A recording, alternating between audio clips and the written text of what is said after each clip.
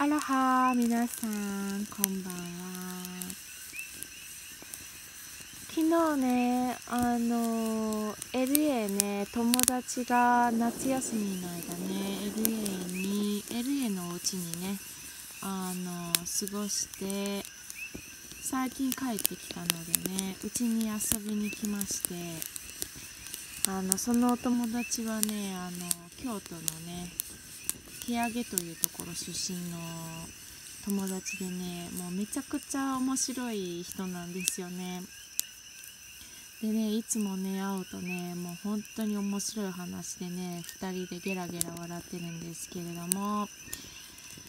昨日ねあの遊びに来て久しぶりにねあの会ったのでまあいろんな話をしてたんですけれどもね。あの彼女の旦那さんがこの夏休みの間にね10キロか、20パウンドだからまあ大体10キロの減量に成功したらしくてその旦那さんはねあのそんなにあの太ってない人なのでそういう人がね10キロも減量するってねあのすごいことだなと思って何をやったのかって聞いたんですよね。うん、そしたらあのお酒をねあの減らしただけだって言ってました。お酒を減らしただけであの夏の間に2 0キロ減ったということでねあのどれだけお酒を飲むんだろうって思ったんですけれどもあのなんでねあの彼が1 0キロ減量したかっていうとあの彼女のねあの彼女も彼女の旦那さんもあの息子たちもねあのマラソンがね大好きなんですよね。マラソン一家ですね。あの旦那さんはもうフルマラソンなんてもうへっちゃらで完走してしまう人なんですけれども私のその友達もねハーフマラソンはあの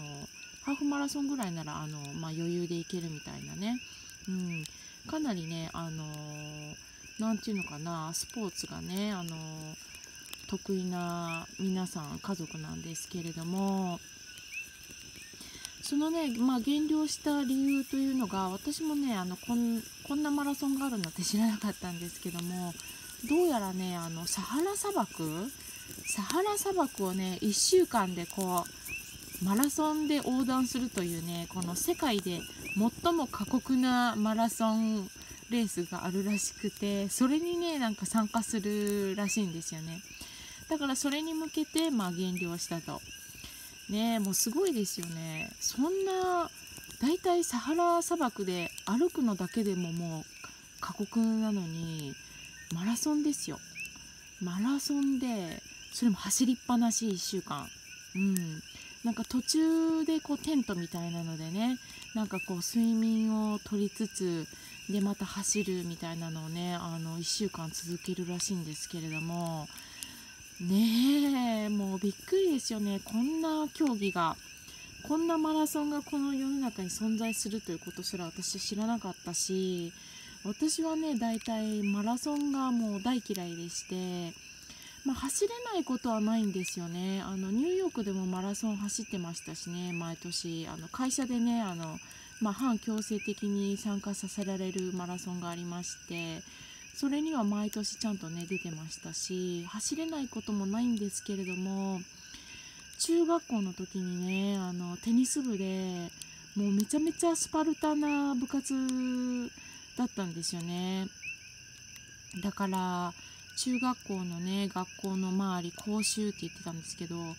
講習をねもう延々と毎日毎日走らされてもうちょっとトラウマみたいなのでねあのマラソンは本当に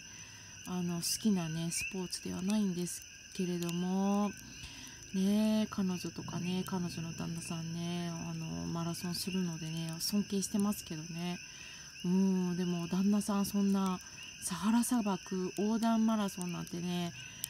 どうなっちゃうんだろうなと思って私あのねもうまたそのねあのお話はあのまたねあの彼が完走した後にあの詳しく話を聞いてねここの動画にもあげたいと思ってますので皆さんお楽しみにしてしてしていてください。はいということでね皆さんマラソン好きですか？うーんどうなんだろう。ねあれは結構あのスポーツとしてはねあの体にすごい負担かけますよね。膝とかね、うん、健康的なスポーツではないような気はしてるんですけれどもね私個人的な感想なんですけれども水泳とかの方がねあの、まあ、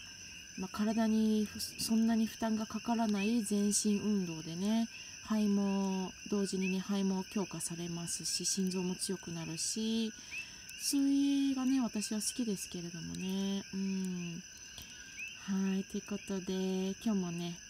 たわいもないお話にお付き合いくださいましてありがとうございます。皆さん今日もお疲れ様でした。よく頑張りました。それではまた会いましょう。マハロー。